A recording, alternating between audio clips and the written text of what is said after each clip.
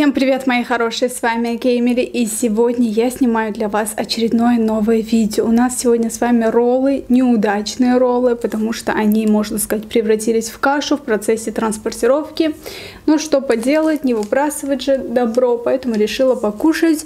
И вот эти вот неудачные я решила немножко сзади их положить, чтобы вам не бросалось в глаза. Давайте приступим. Я так соскучилась по роллам. Опять.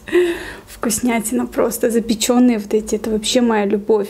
В темпуре. Красота. Вот эти обычно, кстати, они готовят помельче. В этот раз прям крупные.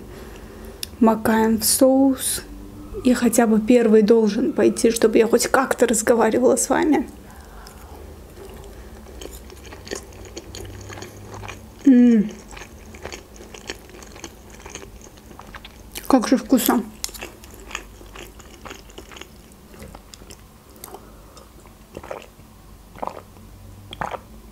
Так, продолжаем, ребята, не теряем ни минуточки нашего драгоценного времени. Какой же следующий? Вот эти, кстати, в этот раз очень даже крупные. Здесь внутри с рыбкой, сыр, огурчик. Вау! Вау!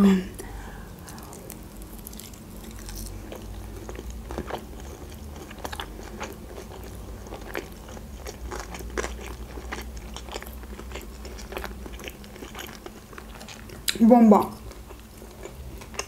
Просто бомба замедленного действия.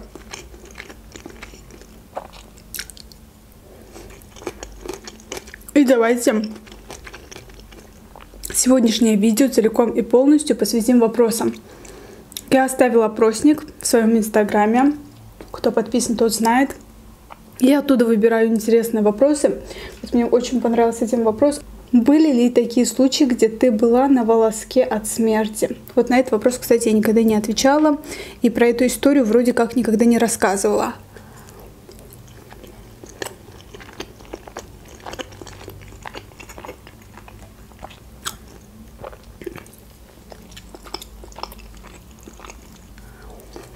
Однажды я лежала в больнице. И ко мне подключили капельницу. И там была медсестра, которая смотрела, чтобы лекарство шло вот правильно по вене. И в какой-то момент лекарство закончилось. Я не знаю, насколько это безопасно, то есть возможно ли от этого умереть, не знаю, потому что я не медик. И я в какой-то момент заметила, что лекарство уже закончилось, и потихонечку по этой трубе шел воздух мне в вену.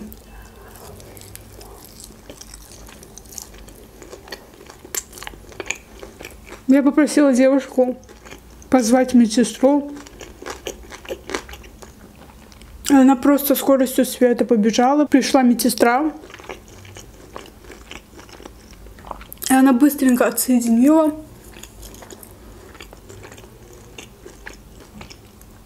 Я в тот момент ребенком была, мне было 14 лет.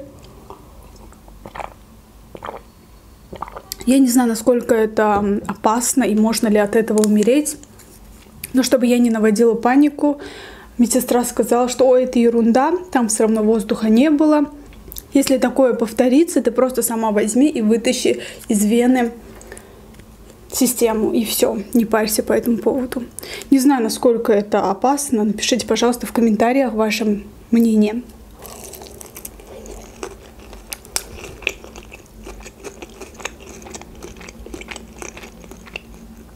Однажды в России я шла по улице, а кто живет в России, тот не даст мне соврать. Там бывают такие сосульки.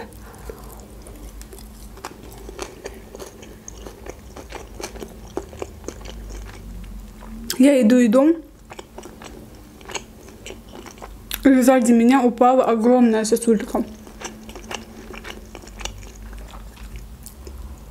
Возможно, если бы эта сосулька упала бы мне на голову, меня бы сейчас здесь бы не было.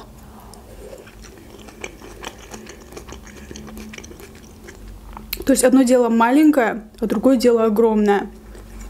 И куча случаев было, когда люди реально умирали от того, что просто вот сосулька с крыши упала, и человек просто умер с сотрясением мозга и смерти.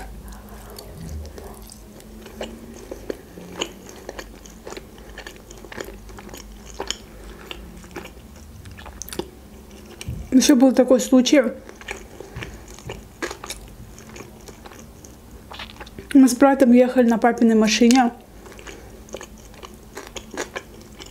от дяди домой. И получается, что девушка хочет перейти дорогу, стоит посередине дороги, с этой стороны едут машины вот так вот, а с другой стороны вот так. Она пол дороги прошла, и вот две полоски, она стоит на этих полосках. Едет какой-то парень, такой, знаете, автохулиган, так скажем. У нас таких раньше вообще много было. На советском автопроме прям переделывают машину и начинают ее долбать везде, где можно. И этот парень хотел понтануться, видимо, перед этой девушкой, да, и как-то так опасно проехать, чуть ее не задеть, вот что-то такое, да. И так получилось, что он ее задел, причем очень сильно.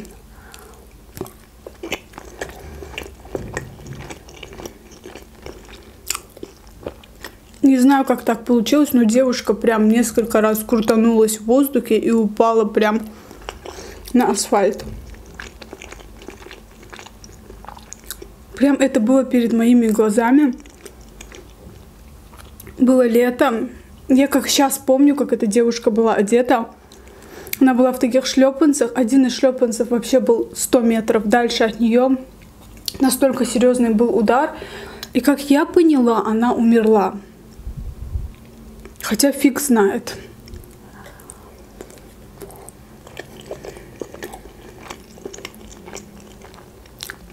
Мы вышли из машины, предложили нашу помощь. Парень взял девушку, затолкнул к себе в машину и сказал, что я еду в больницу, отвезу ее, она еще жива. Но был просто такой удар, прям серьезный удар. Конечно, не хочется, чтобы это было, это была смерть. Но со стороны это выглядело так.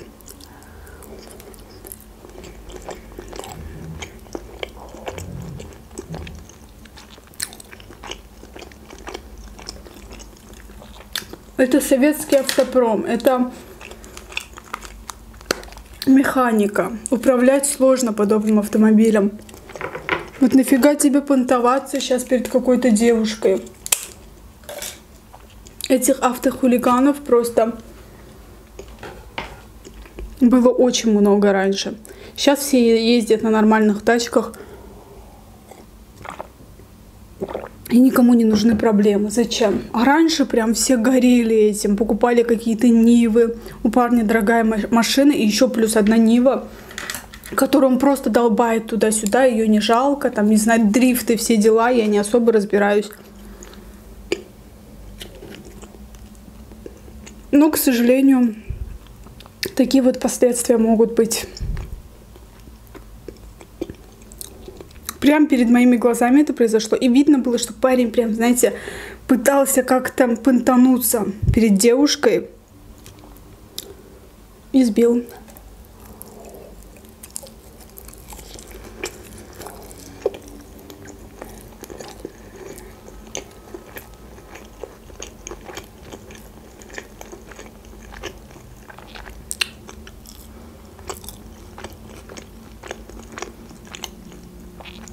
Девушка с такими кудрявыми волосами.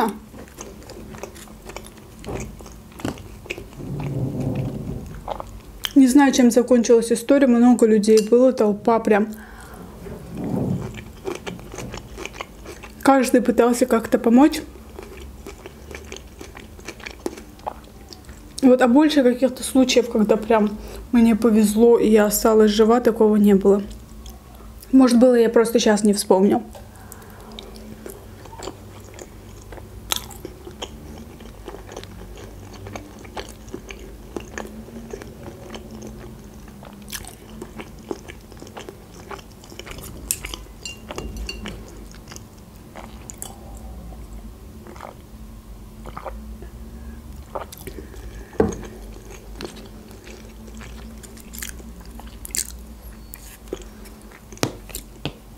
Вот просто оно надо было ему. На пустом месте. Ехал к себе домой. Раз вот такая вот ситуация. Поэтому на дороге нужно быть крайне аккуратными. Пусть даже ты приедешь через полчаса, а не через 15 минут. Но зато ты приедешь живой. У меня дедушка, мамин папа, Аллах рахмет eylesin как сказать. Пусть земля ему будет пухом. Но он был очень, очень терпеливым человеком на дороге. Он всегда очень аккуратно водил машину. Все-таки машина, скорость это все опасность.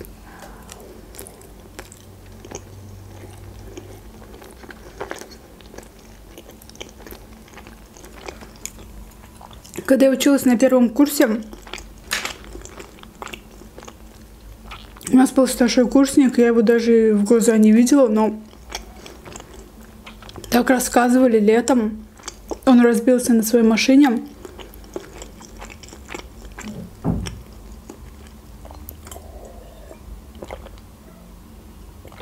И умер. Был единственный сын, представляете? У родителей ни дочки, ни сына, кроме него, не было. Следующий вопрос. А вы делаете маникюр другим девушкам или только себе? Занимаетесь ли вы этим профессионально? Нет, конечно, у меня просто нету на это время. Я только себе делаю, и то не всегда успеваю. Сейчас мне нужно переделывать, например, педикюр. На это у меня времени нету, к сожалению. Вот, поэтому нет, никому не делаю, тем более за эти годы, пока я не делала, я уже как будто разучилась.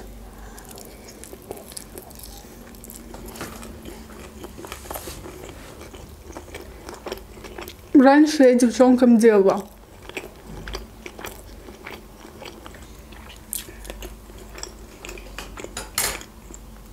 Но сейчас такого желания, если честно, нету. И самое главное, нету времени. Вчера должна была успеть закончить все отчеты, потому что 31 число, месяц закончился. Я не успела.